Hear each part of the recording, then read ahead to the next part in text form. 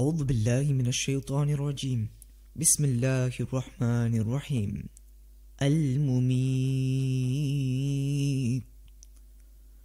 Allah subhanahu wa ta'ala within the 61st name within the Asma'ul Husna is being described as the bringer of death Al-Mumit or the destroyer Allah subhanahu wa ta'ala is the one who created the inanimate world to which all living forms will, will return.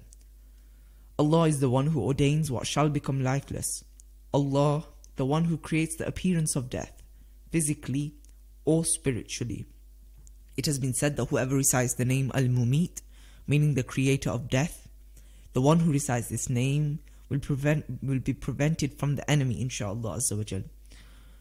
Allah subhanahu wa ta'ala describes himself as Al Mumit in the Holy Quran where he says, and He it is who grants life and deals death.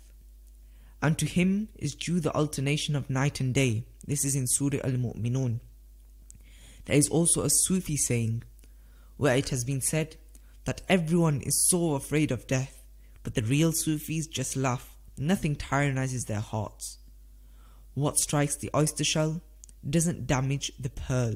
Subhanallah.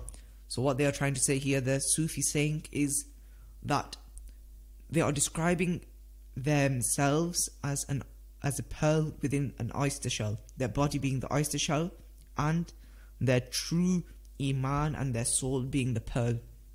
So what they are saying is that when death strikes the oyster shell, i.e., when death strikes the body, the real purpose and the real goal in this life is not damaged the reason they live in this life is to prepare for the hereafter. So when the oyster shell breaks away, when it is struck by death, the pearl, it is time for the pearl to emerge.